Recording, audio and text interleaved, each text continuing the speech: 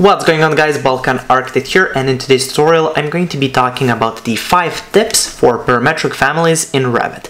Now, parametric families are very useful, they are really great when working on projects, you can adapt them to certain situations, They're, they can be really easy to use and they can just get a lot of the job done. Now, unfortunately they're extremely complex to model in some cases, so I thought I, I would make a tutorial just outlining the 5 tips or tricks for for these families, just some of the things that you should think about when creating uh, these. Uh, now this will be just a, a, little window into the extremely complex world of parametric family creation. Now if you want to have a complete introduction, I have a one hour course on creating parametric families in Revit. It's sort of a, an introduction to parametric families. So if you're interested in something like that, check it out. First link in the description takes you to my Patreon. There you can get access to this course as well as all of my other advanced courses. I've got like over 40 hours of content there and also you get all of my Revit project files. I've got like over 300 files so far. Okay, with that out of the way, without any further ado, let's get into the tutorial. The first step is going to have a lot to do with the start of a new family. So when we want to start a new family, here we are in the Revit start page. I'm just going to go here to families and here we have the option to start a new family. Now when we click there, here we have to choose the template. Now this is the, the first step and that's choosing the correct template for each family. So for families, templates are going to have a lot of functionality inside of them and here uh, these are just the metric uh, English metric families. And if I just scroll all the way down you can see we have many many options. Uh, now here this might uh, kind of look similar to the uh, to all of the tools in Revit. So here we have the doors. At the bottom we have windows. And we have much more uh, in between.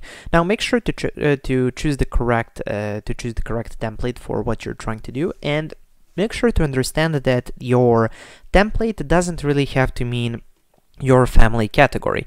So for example, if we want to create a line-based family, here we have the option to for a metric generic line-based family.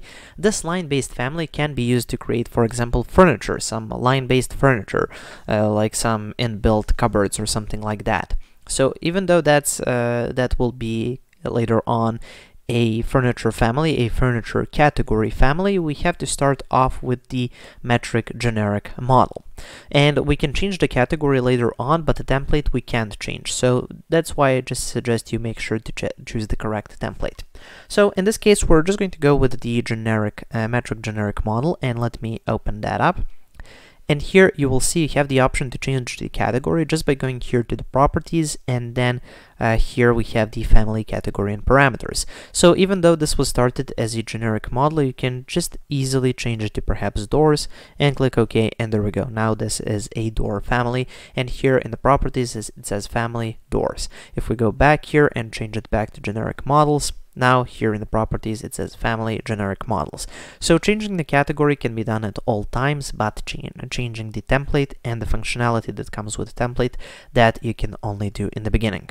Okay, the second tip is going to be referring to the parameters. So let's create some geometry so I can explain the two types of parameters that we can create. So here I'm just going to go with a simple extrusion and let's go with a circle and I'm just going to do a circle here. Uh, now here we have the dimension that's giving us the like the diameter of the circle. And here I'm just going to click and that this says make temporary dimension uh, just a permanent dimension. And here now we have this dimension and we can turn this dimension into a parameter. So you simply go by going here to label dimension and then we click here to create parameter.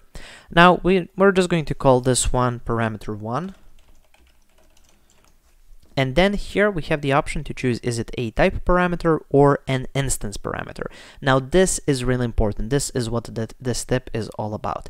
Now the type parameter is going to be referring to the type. So that basically means uh, it's for each instance of your uh, family in your project, the type parameter is going to affect that family.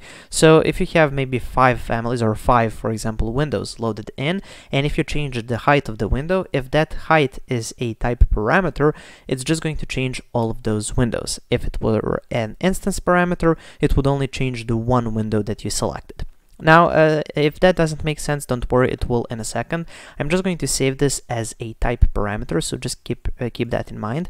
So this circle is a type parameter, and then let's hit finish, go into 3D. So there we go. We have this family and that has the uh, uh, that that has the type parameter. Now let's go back here into reference level. Let's go to create, extrusion, and let's do a rectangle, for example.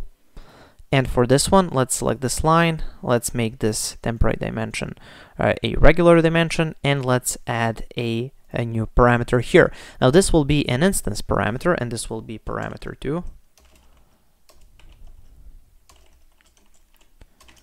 And let's call it instance. There we go. Click OK. And we can check all of the parameters here in family types. So if I open this up here, you can see that we have the instance one and the parameter one.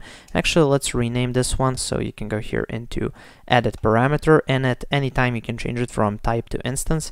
Here we're just going to be changing the name in this case. So this will be type. Hit OK, apply. There we go. Okay, if I just hit finish, there we go. Go into 3D and this is what we have. Now let's go ahead and load this into a project. So for that I have to start off a new project. So I'm just going to go here to new project and let's make it an architectural template project. There we go. And what I'm going to do is just for this project, gonna undock it. And then I'm just going to dock it here to the side, just so we can differentiate from our, our project to our family. Okay, now I want to load this family into my project. So I'm just going to go here to load into project. And as you can see here, we can place it. So let's go ahead and make this window a bit bigger. There we go. Okay, so here we have this family inside of the project and that's it's called family 1 just because we haven't changed the name and for our instance parameter it's over here it's in the properties panel here this is the instance parameter and this is the height. So if I change this instance parameter to, I don't know, something like 2000, hit apply, there we go. As you can see, that change was made. But if we look for our parameter 1, you're going to notice that we can't find it. That's because that's a type parameter. So in order to find the type parameter, you need to go here into edit type and open that dialog up. And then here we have that parameter. So if I go ahead and make a change to this, maybe into 800, and then hit apply. Now as you can see it changes that circle. So type parameters are only going to appear here in the edit type uh, dialog and instance parameters are going to appear here in the properties parameter. Now that's uh, the least important part about this and uh, the most important part is if I select this family and go to maybe component and let's add a couple of more you're going to notice that if I select perha perhaps this family and if I change the instance parameter let's change it to 500 it's only going to change this instance, so only this one. But if I select this one, for example, and go into edit type and change this parameter to 300, and hit apply, you're going to notice that it change, changes all of these. So type parameters are basically changing the whole type, so it affects each family inside of the project, but instance families only affect the selected family. So in this case, this is only this family, so only this family will change. So that's basically the difference between type and instance parameters. Now the next step is also connected to those instance parameters. So let's go back here into our family, if I can only select this to stretch it. There we go. Okay, so let's go back to the family, let's go back here into reference level, and what I'm just going to do is move this a bit and perhaps attach it over here and lock it in place to this main reference plane. And then what I'm going to do is go to create and create a new reference plane. So for this one, I'm just going to place it over here just like that on this edge. Just as so and then make sure to attach this. So basically select your shape. You disattach it from the uh, from the reference plane. Then you reattach it. And then you hit the little uh, lock symbol and that means that this is now locked in place. So if we move the reference plane, it's going to move the dimension of this uh, rectangle. The next thing is to create this dimension over here, and we have to set this up as an uh, uh, uh just as an instance parameter. So you basically set that, uh, select that dimension, go here and create a new parameter, let's call it parameter number one, and make sure that it's an instance parameter click OK. There we go. So it says 1 equals and then the, the whole number. Now this uh, instance parameter, we're not going to be changing it manually by typing in the number, but we're going to be changing it intuitively and basically the, through uh, playing around and shaping the family just because this instance parameter allows us to create a, uh, a shape handle. So let's load this into the project so I can explain how that works. So now if I just expand project, there we go. If I select this family, now it's going to get these two shape handles. Those two shape handles are at the beginning and the at, at the end of this dimension, and those are these two reference planes. So if I select this, we get these two shape handles, and then we can basically control the size of this family manually, and each can be different size just because it's an instance parameter. So there you go, that's how you can add these cool shape handles, and you can basically manually adjust the dimensions of the family. So if you're just intuitively trying to get to something, some shape that you uh, like, you can use this uh, you can use this option in order to do well to create that shape Okay, the next thing that I wanted to show you, the next tip, will uh, will be uh, nesting families. So let's perhaps move this off to the side. Let's go back here and let's say we want to add another family within this family. Well, that's possible and it's quite easy to insert uh, some families into your existing family. You would do that in certain cases where you have maybe some certain geometry that you want to uh, lock or move around that's quite complex itself. For example, uh, it can be a door handle or something like that. So for example, uh, for something like that, we can go here to insert and then we can load in a family. So in this case, let's say uh, we want to add a door handle. We can go here into doors, go into hardware. Here we have some handles. Now this isn't the door family, but you get the point. Now I'm just going to go here with a simple handle louver lever and then let's go here to create, go to component, and as you can see we can just place this. And you can place it anywhere. And what's really great about these families is you can place it and then you can use uh, the align tool. So AL is the shortcut this is the align tool to align that family in place. So you just try to find the kind of the, the largest line that appears there. So for example here this is the largest line and now we can just basically lock it to the center of this particular family okay it looks kind of weird here but uh, on a door that would look nice. So basically this is a nested family that's uh, within this project. So that's really cool that you can basically nest infinitely families within families.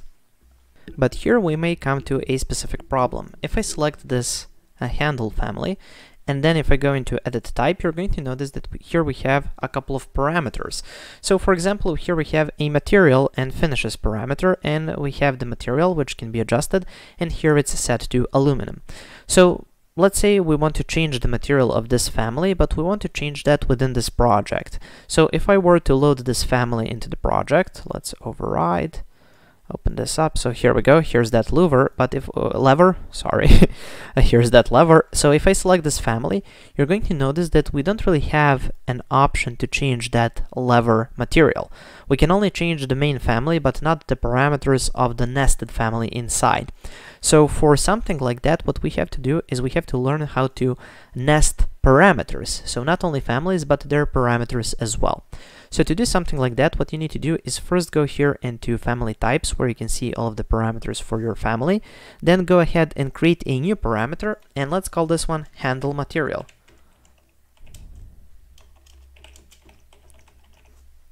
And this can be an instance parameter. And then here for the type parameter, here it says a length. Let's change that to material. There we go. And then let's click OK. So here we have that handle material uh, parameter. Now once we have created that parameter, we need to select our handle, go here into edit type, and then here for this material, go to this little uh, this little gray rectangle in the corner. Now this is not to be confused with this rectangle with three dots, not that one, the one here on the side. So you click there and says associate family parameter and now we can select this parameter, click OK, apply, okay, and it basically connects this parameter to this here handle uh, handle material. So if you want to change the material of this handle in this family now, and let's load this family into the project, override it. There we go. So now if we select this and go into, or not into edit type, if we just go here to properties, here we have that handle material parameter and we can just change that parameter and change the uh, nested uh, nested families material so this is not only how can you nest how can you nest families, but also how can you nest materials as well. Okay, let's go back. And for the final tip, I wanted to show you something that I see people neglecting all the time, and that's creating family types. So for creating family types, you have to go here into your family, go into, well, the family types dialog, of course, open that up, and here we have the type name. Now, we don't really have any types, so that's why this is blank. So you just click here and create a new type name. We can just call it type 1 and then here you can have certain presets for all of your parameters. So for example, this can be 600 by, okay, we can just leave this as is, and then here we can make this aluminum. Then we can go ahead and add a new type, let's call this one type 2, and in this case this will be wood. Uh, let's search for wood material.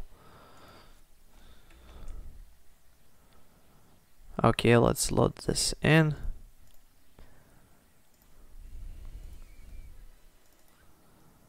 There we go. Okay, so this is type 2, and then this uh, type parameter can be, I don't know, like 800, and then hit apply. Okay, there we go. Now, if we load this into the project and just uh, override the existing, let's go ahead and open this up.